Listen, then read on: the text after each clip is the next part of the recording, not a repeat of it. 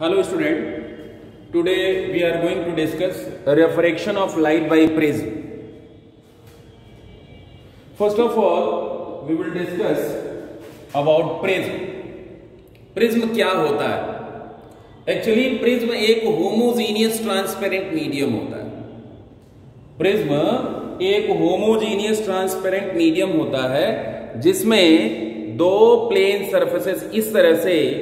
किसी एंगल पे एक दूसरे से इंक्लाइंड होते prism is a homogeneous transparent medium bounded by two plane surfaces inclined to each other at some angle वैसे तो इसमें फाइव फेसेस होती हैं ये दो फेसेस हैं जिनको हम रेफ्रेक्टिंग फेसेस भी कहते हैं रेफ्रेक्टिंग सर्फेसेस भी कहते हैं एक ये हो गई तीन चार और ये नीचे बेस ये फाइव फेसेस जो है इसमें होंगी इसको हम डिफाइन करेंगे prism is a homogeneous transparent medium bounded by two plane surfaces incline to each other at some angle this is prism ये देखिए A B C D E F इसमें ए बी ये जो है जो ये पार्ट आप देख रहे हो ये एक रेफ्रेक्टिंग सरफेस है इसी तरह से A C F D A C F D ये रेफ्रेक्टिंग फेसेस हैं या रेफ्रेक्टिंग रेफ्रेक्टिंग सरफेसेस है ये रेफ्रेक्टिंग सरफेसेस है यहां भी हमने प्रिज्म को बनाया हुआ है ये A B C D E F इसमें भी ये जो है फेस रेफ्लेक्टिंग हो जाएगा ये फेस रेफ्लेक्टिंग हो जाएगा ये दोनों फेसेस जो है रेफ्लेक्टिंग फेसेस हो जाएंगे ये क्या है ये जो सरफेसेस हैं एक दूसरे पे जितने डिग्री पे इंक्लाइन है इसको हम बोलते हैं angle of prism angle of prism ये एंगल ऑफ प्रिज्म आप देखें कि ये जो दो प्लेन सर्फेसिस हैं एक दूसरे से जिस एंगल पे इंक्लाइंड है that is called angle of prism और ये रेफ्रेक्टिंग ये जो है रेफ्रेक्टिंग फेस हो गया ये रेफ्रेक्टिंग फेस हो गया रेफ्रेक्टिंग सर्फेस हो गया ये दोनों रेफ्रेक्टिंग सर्फेस जिस स्ट्रेट लाइन पे मीट करते हैं this is called refracting edge और इसके परपेंडिकुलर अगर हम एक सेक्शन ले लें तो हमें ये सेक्शन मिलेगा this is called principal section A B C principal section A B C of the prism edge of the prism A D हो गया A B E D refracting face हो गया ए सी एफ डी ये भी refracting face हो गया angle A angle of prism हो गया और परपेंडिकुलर सेक्शन हमने ले लिया ए बी सी ये प्रिंसिपल सेक्शन कहलाता है now come to refraction of light by prism refraction of light by prism we are going to discuss refraction of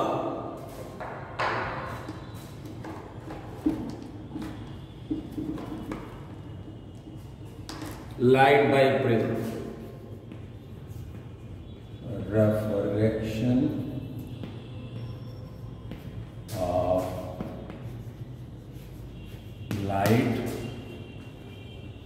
by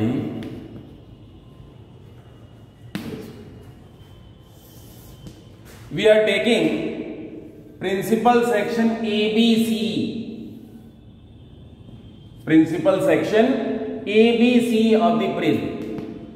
Angle of the prism is A. This is the incident ray PQ.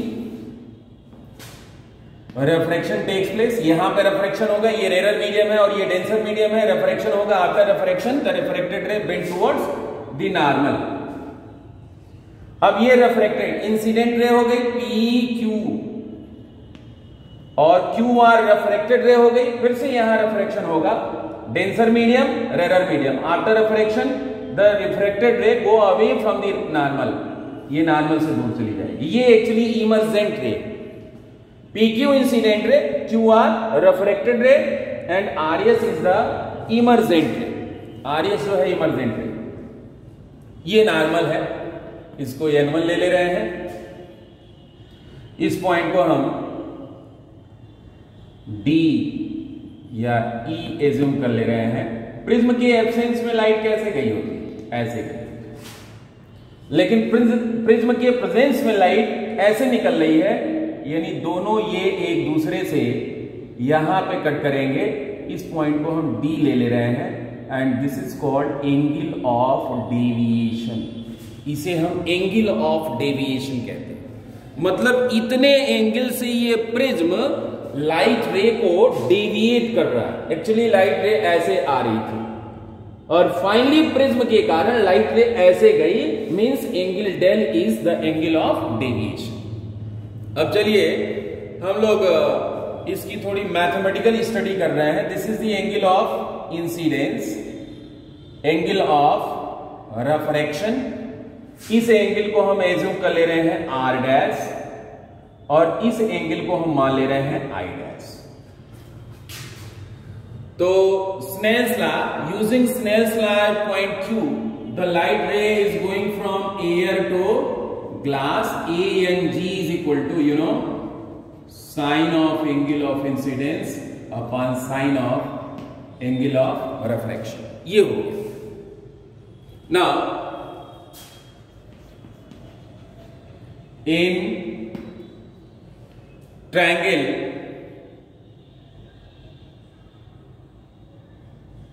Q E R Q E R what you are seeing R plus R dash plus E is equal to one eighty degree sum of interior angles of a triangle is equal to one eighty degree ये जो है one eighty degree हो जाएगा एक चीज और आप देखें हमारे पास एक क्वारिलेटरल मिल जाएगा A Q E R A Q E R इस क्वारिलेटरल में angle A Q E ninety degree है एंगल ए आर ई ये भी 90 डिग्री है तो 90 प्लस 90 180 इन दोनों का सम भी क्या होगा in quadrilateral A Q E R what you can write A plus E is equal to 180 degree so comparing these two equations small A and B what you can write A is equal to R plus R इसको equation number हम first लिखेंगे angle of prism is equal to sum of these two refracting angles R plus R S ये value मिल गई अब हम क्या करते हैं इस ट्रायंगल में देखते हैं in triangle Q D R the angle of deviation the angle of deviation. What is the value of angle of deviation? You know, angle of deviation is equal to ये एक्सटीरियर एंगल है आप देखें ये total I है ये R है तो ये क्या होगा आई माइनस आर ये आई डैश है ये आर डैश है तो ये एंगल कितना हो जाएगा I dash minus R dash ये जो एक्सटीरियर एंगल होगा वो सम ऑफ इंटीरियर एंगल्स होगा यानी del is equal to I minus R plus I dash minus R dash and this can be written as I plus I dash minus R plus I plus I dash minus R plus R dash अब equation first से आप R plus are dash की value place कर सकते हो so from first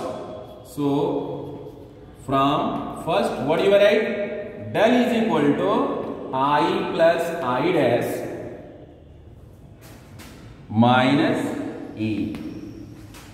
I plus I dash minus E इसको equation number हम second लिख रहे हैं ये भी एक इक्वेशन हो सकता है I plus I dash minus R plus R dash इसी को इक्वेशन नंबर सेकेंड लिख ले रहे हैं और इसको इक्वेशन नंबर अब हम क्या करते हैं हम एक ग्राफ प्लाट करते हैं किसमें किसमें एंगल ऑफ इंसिडेंस और एंगल ऑफ डेविएशन के बीच में हम एक ग्राफ प्लाट करते हैं ये देखें आप ये एंगल ऑफ इंसिडेंस है और ये एंगल ऑफ डेविएशन तो हम क्या करते हैं जब एंगल ऑफ इंसिडेंस को इंक्रीज करते हैं तो शुरू में तो एंगल ऑफ डेविएशन की वैल्यू डिक्रीज करती है लेकिन एक डेफिनेट वैल्यू के बाद ये वैल्यू फिर इंक्रीज करने लगती शुरू में जब एंगल ऑफ इंसिडेंस आप इंक्रीज कर रहे हो देखो आप एंगल ऑफ इंसिडेंस इंक्रीज कर रहे हो तो एंगल ऑफ डेविएशन की वैल्यू डिक्रीज करती है और यहां पे ये मिनिमम वैल्यू को अटेन करती है this is called angle of minimum deviation angle of minimum deviation और after angle of minimum deviation यह वैल्यू इंक्रीज करने लगती है ये एक्चुअली इंक्रीजिंग डिक्रीजिंग कर्व हमको मिलता है इस एंगल ऑफ इंसिडेंस में आप देखें इस ग्राफ की एनालिसिस करने पे हमें ये पता चलता है कि कोई एक जो डेविएशन होगा उसके लिए दो दो angle of incidences I one I two ये दो दो एंगल ऑफ इंसिडेंसेस लेकिन अगर इस लाइन को आप नीचे करते जाए नीचे करते जाए तो यहां पर यह इस ग्राफ को सिर्फ और सिर्फ एक पॉइंट पे टच करेगा means at angle of minimum deviation the angle of incidence is unique सिर्फ और सिर्फ एक एंगल ऑफ इंसिडेंस एग्जिस्ट करता है एंगल ऑफ मिनिमम डेविएशन के लिए यानी हम कह सकते हैं कि for del is equal to del M I is equal to I dash angle of incidence की वैल्यू यूनिक हो जाती है सिंगल एंगल ऑफ इंसिडेंस होगा एंगल ऑफ मिनिमम डेविएशन के केस में और अगर I is equal to I dash हो जाएगा तो इक्वेशन नंबर थर्ड से हम क्या लिख सकते हैं I is equal to I dash लिखेंगे तो इक्वेशन नंबर थर्ड से from equation third what you can write del की जगह हम डेलियम लिख लेंगे del m is equal to I plus I dash ये दोनों सेम हो गया टू आई लिख ले रहे हैं minus A and this implies that angle of incidence I is equal to A plus del m upon two A plus del m upon two I की value मिल गई ए प्लस डेलियम अपान टू एक चीज और आप देखें कि if I is equal to I dash what this imply R is equal to R dash so from equation number first A is equal to R plus R dash और r dash और are दोनों same है यानी r plus R that will give you R so angle of refraction in this case become A by two using Snell's law N G is equal to sine I upon sine R तो आई और are दोनों की values हम इसमें place करेंगे और ये result मिल जाएगा हमें putting the value of I and R we may write sine I is A plus del m upon two upon R is equal to A by two so this is this is the formula for the refractive index of the material of prism using the value of angle of minimum deviation we can find the refractive index of the material of prism n is equal to sin a plus delta m upon 2 upon sine A by two A क्या है इसमें angle of prism in case of thin prism what will happen in case of very thin prism thin prism what will happen जब prism बहुत पतला होगा तो उस case में ए की वैल्यू काफी छोटी होगी और जब ए छोटा होगा तो उस केस में A plus del m upon two भी छोटा होगा यानी a plus del m upon 2 for smaller values of theta sin theta is nearly equal to theta so this will be a plus del m upon 2 and what about sin a by 2 sin a by 2 is also nearly equal to a by 2 इन दोनों values को अगर हम place करें thin prism के लिए हम formula obtain कर सकते हैं तो इन दोनों वैल्यूज को रखने पे हमें थीन प्रिज्म के लिए रिलेशन मिल जाएगा N is equal to sine A plus delta M upon two को हम लिख लेंगे A plus del M upon two divide by A by two two two cancel and this will be N is equal to A plus delta M upon a and this can be very easily written as na is equal to a plus del m it mean that angle of minimum deviation is equal to N minus one whole multiplied by a ये एक important formula है angle of minimum deviation is equal to n minus one whole multiplied by A यहां से हमको relation मिल गया इसको मैं फिर से लिख दे रहा हूं आप देख नहीं पा रहे हो इसको यहां पे n इज इक्वल टू हम लिख लेंगे A plus delta m upon two upon A by two two two cancel और ये हो जाएगा n A is equal to A plus del m means angle of minimum deviation is equal to n minus one whole multiplied by यानी angle of जो minimum deviation है वो directly proportional होता है एंगल ऑफ प्रिज्म के it is directly proportional to the angle of prism thanks